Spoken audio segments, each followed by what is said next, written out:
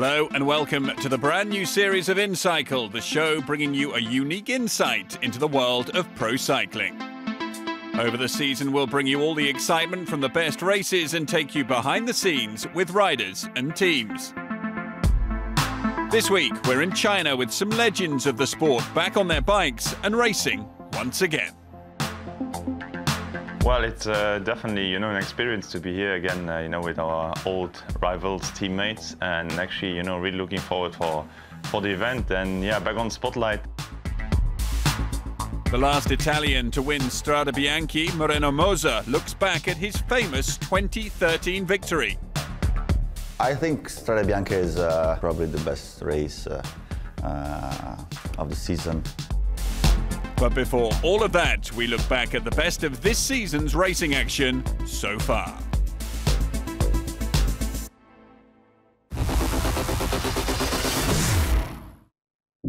With the cycling season well and truly underway, it's time to look back at some of the best moments you might have missed so far, starting with a new addition to the Women's World Tour calendar, the Cadel Evans Great Ocean Road Race.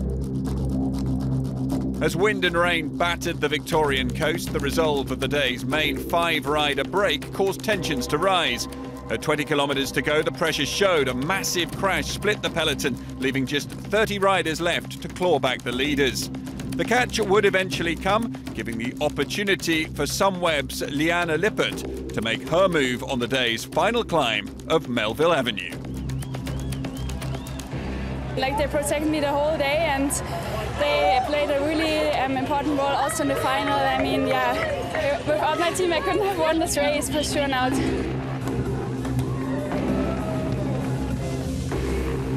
Victoria's usual blue skies returned, but the winds remained for the men's edition the following day. Splits in the bunch would be a recurring theme of the race's early stages. Youngsters Carter Turnbull and Elliot Schultz were enjoying their moment in the limelight in the day's longest breakaway.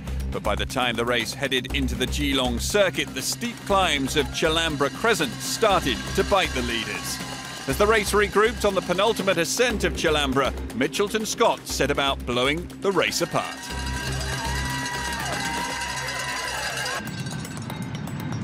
And that looks like Elia Viviani is in the front group. It is Viviani. Bottom right-hand yep, corner of your screen. In. Number one, the blue and the white colours. That is the Italian. Caleb Ewan in there as well. With 2017 winner Jay McCarthy still there, the Australian squad played its next card. A sprinter oh, who won last year, Yates. It had to happen, and he's gone with a terrific acceleration, but they're after him. That was an incredible acceleration by Yates, and all the sprinters have gone in one go. Simon Yates' work was done, but moments later, teammate Daryl Impey was caught napping. A sizzling attack. It was Sivakov. He went on the attack on the left-hand side. The reaction now comes from Dries Devenyns.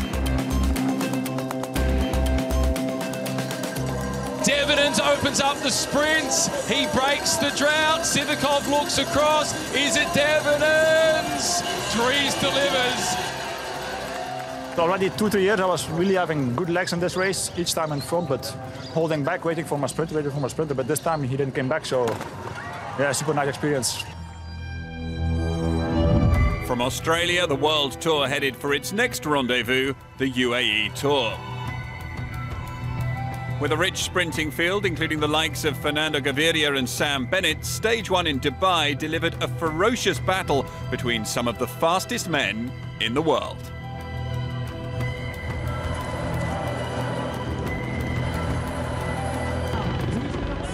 Mitchelton Scott fine spot. Here comes Ackermann. Here comes Ackermann to the line. Bora Hansgrohe will not be denied. For sure, all the big names are here, and I wasn't sure if it's enough for my shape, but now I can say, okay, my shape is good, and now we can take it easy the next days and have a look what's going on the next week. As the race hit the hills for the first time on stage two, the pace proved too high for race leader Pascal Ackermann. And when Victor Campenaerts launched an audacious attack with 10 kilometres to go, four-time Tour de France winner Chris Froome showed it was still early days in his return from injury. But with a steep but short sprint to Hatta Dam, the sprinters teams weren't going to be denied.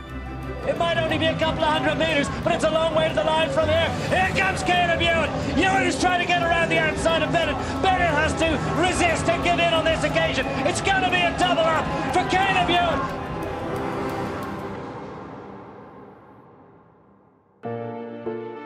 With stage three set to be the first battle of the week's general classification war, nerves were clearly high.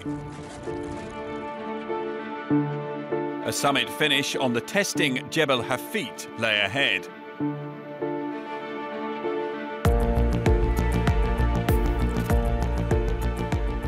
While Caleb Ewan sat up to save energy for the coming days, others, including Deceuninck Quickstep's GC Hope James Knox, clearly struggled with soaring temperatures.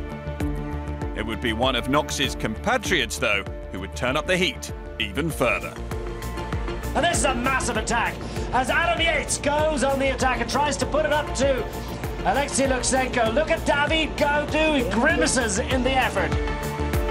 Slovenian sensation Tadej Pogacar had missed the move and put his UAE Team Emirates team to work, but unfortunately for the 21-year-old Adam Yates was just getting started.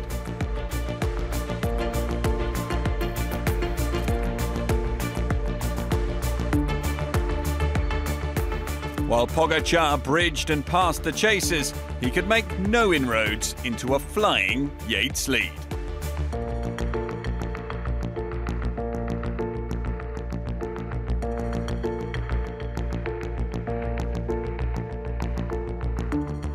I just really wanted to test the legs, and so I attacked, yeah, maybe a little bit too early, but I just committed, and, and if they came back, they came back. Um, but in the end, I, I felt good, and uh, I managed to stay away.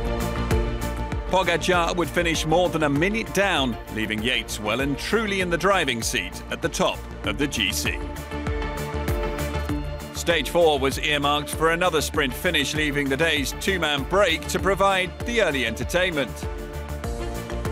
Forecasts of strong winds had raised the prospect of echelons, but in the end none materialised, although it did disrupt the sprint train's approach to the finish. Providing clarity through the chaos and on his early season form was Jumbo Visma's Dylan Groenewegen. Bennett launches, Bennett goes, and here comes Groenewegen alongside him. It's Bennett against Groenewegen. Groenewegen has it. Here comes Gaviria through to the line, but it's Groenewegen that just about hangs on.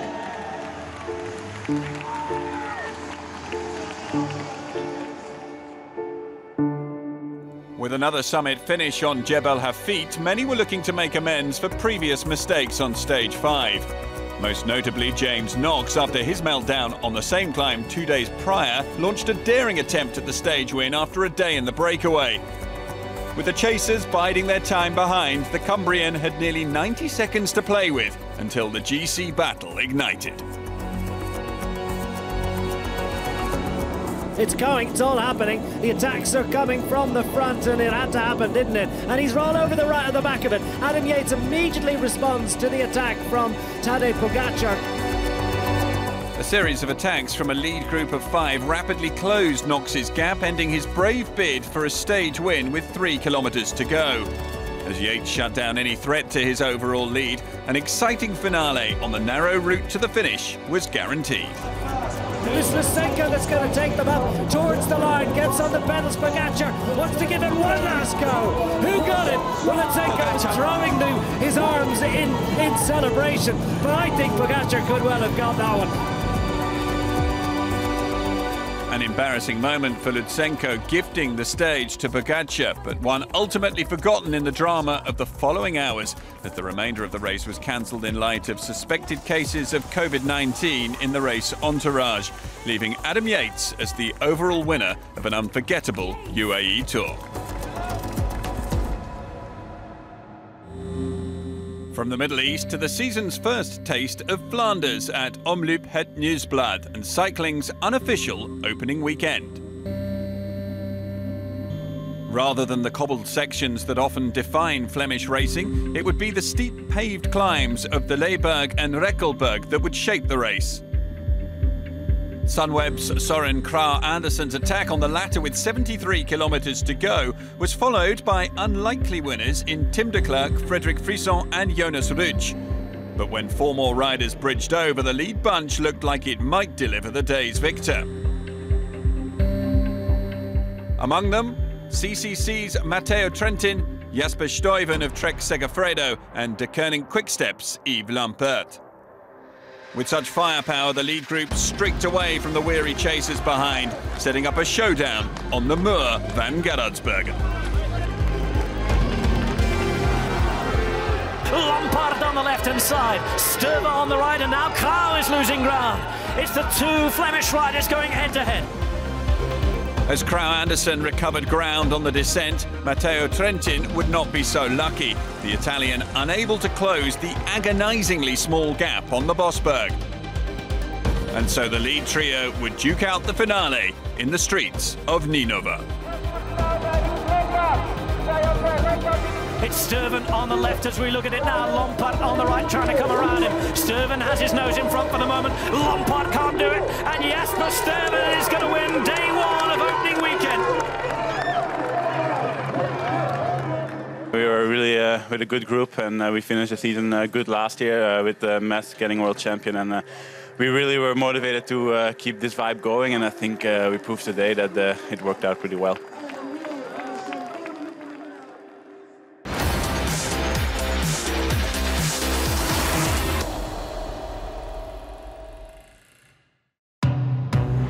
Back in December 2019 in Shanghai's Qingpu district, some of the best to ever ride a bike came together.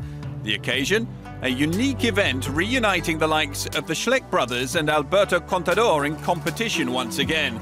The first ever Giro d'Italia ride like a pro promised a cultural exchange of Italy's greatest race. Well, it's uh, definitely you know an experience to be here again, uh, you know, with our old rivals, teammates, and actually you know really looking forward for for the event. And yeah, back on Spotlight. In our time, we didn't really race a lot in China. And, you know, there was one race, but you see that cycling is growing here and, uh, you know, getting more and more popular and um, definitely uh, excited. For me, it was incredible, no? When I saw the, the list of the ex-professional uh, cyclists, it's a, it's a dream team. You cannot believe, you cannot do this in uh, other part of the world.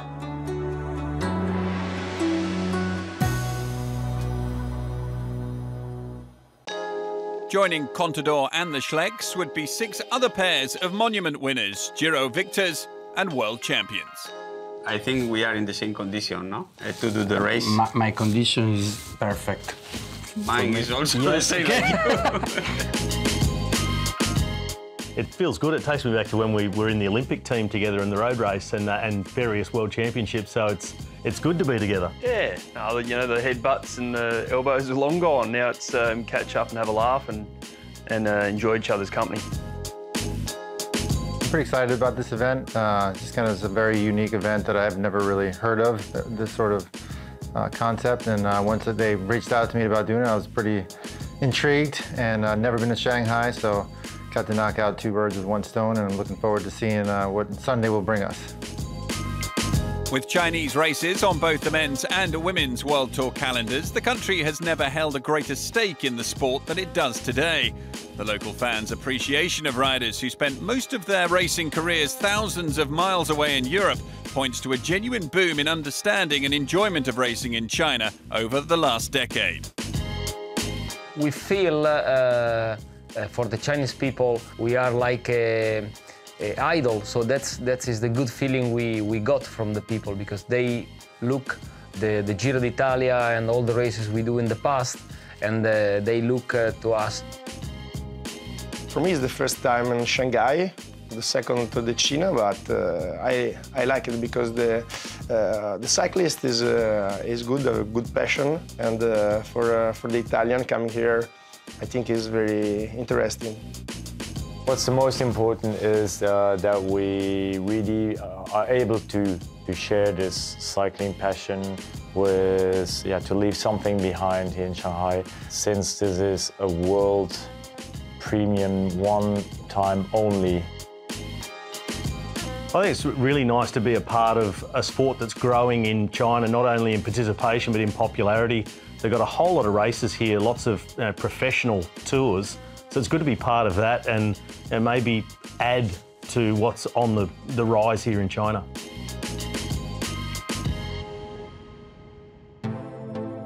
Important to that rise has been events like Giro d'Italia Ride Like a Pro. Over the course of two days, some 3,000 locals of all ages had the chance to take part in races and non-competitive rides on closed roads. Topping off this festival of pedal power, though, would be the hotly anticipated Legends race.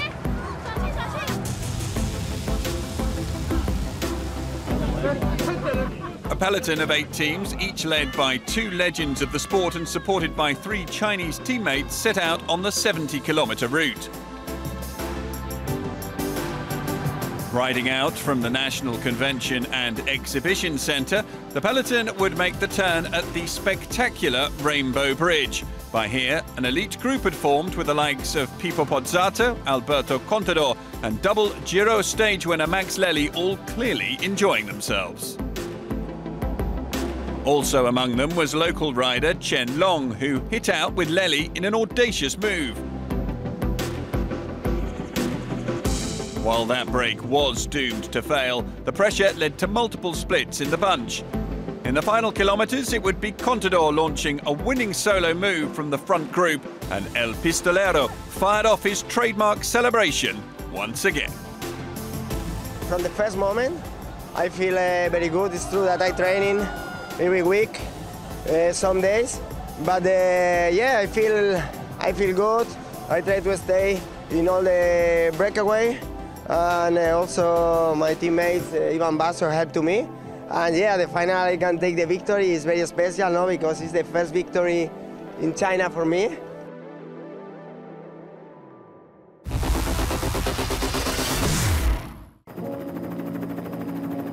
With its rolling Tuscan hills, white gravel roads, and iconic finish into Siena's Old Town, Strade Bianche has quickly become one of the most celebrated races on the cycling calendar.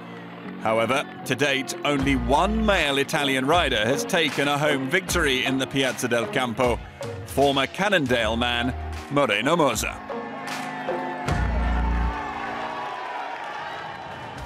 I think Strade Bianche is uh, probably yeah, I think it's probably the best race uh, uh, of the season. I think it's one of the only races that when you're racing it, you can a little bit enjoy even the landscape, the, the place. Because normally when you're in the race, you, you don't see anything. You join us live here at the Strade Bianche, the seventh running of the great event. We have four riders, as you can see, in our escape group. Their maximum gap back to the chasers was nine minutes. Very, very quick order as well. When I won Strade Bianche, it was uh, my second race of the year. And I was coming uh, directly through the altitude uh, camp in Teide.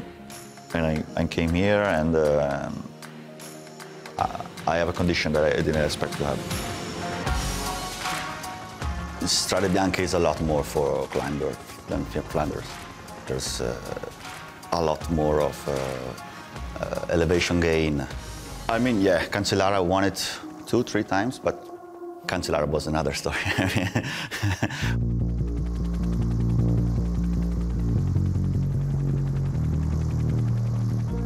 for sure at the start, I wouldn't believe that I could win. I remember the meeting before the race when uh, the director, uh, Scirea, uh, said uh, that for sure Sagan was the captain, but uh, if there was the opportunity, I could uh, play my cards and maybe try to attack uh, in the final or the last, the, the last 20 Ks.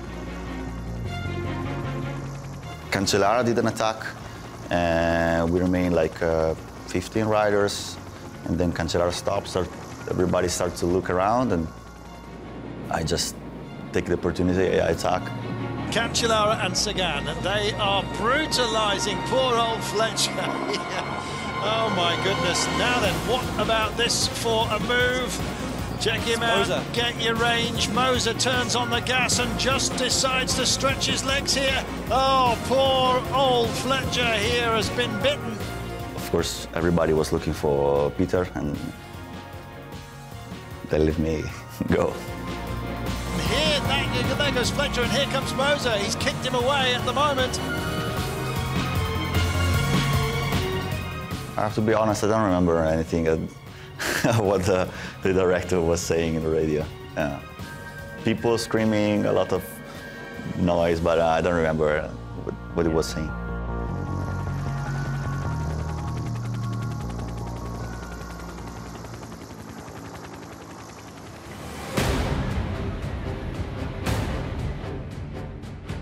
I was crazy. Yeah, I was crazy. Moser has a look. Now then, he's reaching a little bit of a plateau. Can Moser just take the final couple of bends and break some hearts here? This will be an amazing victory for him if he does. He's out of the sun and he's gone. Moser's picked it up and he's just spinning away here. He's got it, I think. Oh, this is amazing. I was expecting to be probably the first 10 position, but not, not to win. So um, I don't know. I was not even sure that uh, that was the finish. Maybe it was another lap.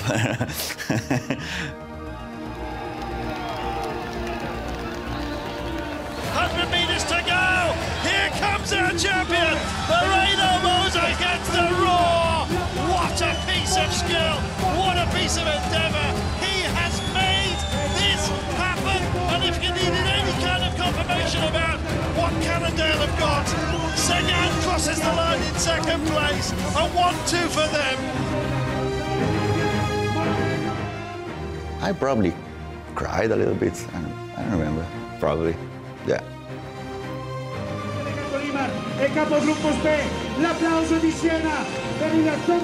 Everything in the race is really iconic and um, the thing that permits to this really young race to become immediately uh, super classic. Yeah. Probably Strade Bianche it's a most beautiful race. Yeah.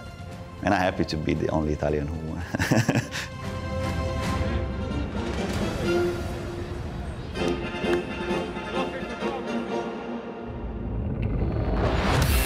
That's it for this edition, but do join us next time. Until then, keep up to date on social media.